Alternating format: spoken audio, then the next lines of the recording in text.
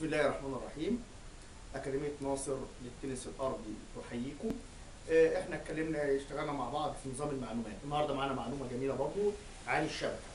الشبكة في ال- بالنسبة لملعب التنس بتبقى في نص الملعب في شبكة للملعب الأولاني والملعب الثاني هو ملعب واحد بس منقسم إلى ملعبين ملعب للفردي للفرد لزميلي وملعب للعيب اللي بيلعب قصاد. وإن كان زوجي يبقى اثنين اثنين بيلعبوا بعض برضه في المنتصف الشبكة.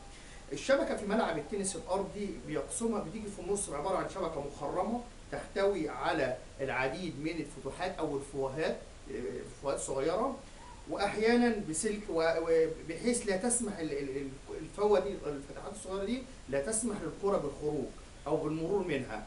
مغلقة بش- الشبكة بحبل أو بسلك بيبقى فيها حبل كده طويل أو سلك.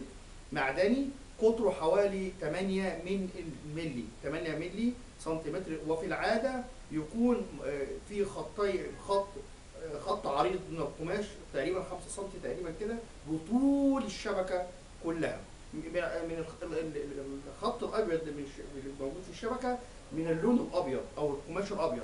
عرضه حوالي 5 سم ويحدها من الأسفل شريط ذو ذو لون أبيض. برضه في ال- في- بالنسبة لأسفل الشبكة في على الخط طويل من القماش الأبيض. برضه تقريبا 5 سم ومثبتة على عمودين. العمودين دول موجودين في طرفي الملعب. ارتفاع الشبكة دي 91 سم و4 من عشرة. دي دي دي طبقا للاتحاد الدولي للتنس. هو اللي بيقول الشبكة طولها قد إيه؟ وعرضها قد إيه طول 4 من عشرة. دي اللي هي هي كده. أو يعني تقريبا ونص. يبقى حوالي 91 سم طولها. طول الشبكة 91 سم وتقريبا ونص أو 4 من عشرة. شكرا وهنتكلم إن شاء الله في معلومة أخرى